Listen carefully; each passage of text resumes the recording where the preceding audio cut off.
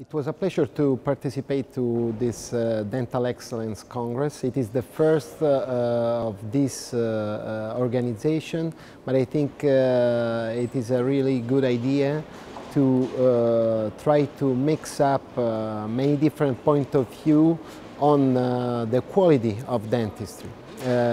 we try to make a workshop where we describe which are the new tendencies in root canal treatment and mainly uh, we are following the concept of minimal invasive dentistry and so minimal invasive endodontics. This can improve our overall quality because we are giving something to the patient that is more than a usual endodontic treatment.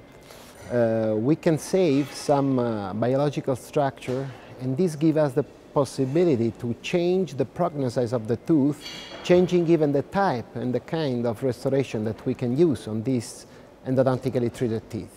So uh, we uh, followed this path uh, trying to underline which are the features of the instruments and of the techniques that we can use to reach this aim. And we focused on uh, different kind of uh, approach that we can have, having the highest possible quality of the endodontic treatment, but at the same time saving teeth and saving tooth structures as much as possible.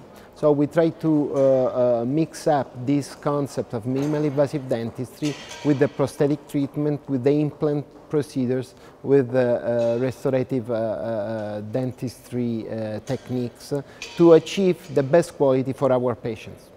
Thank you very much.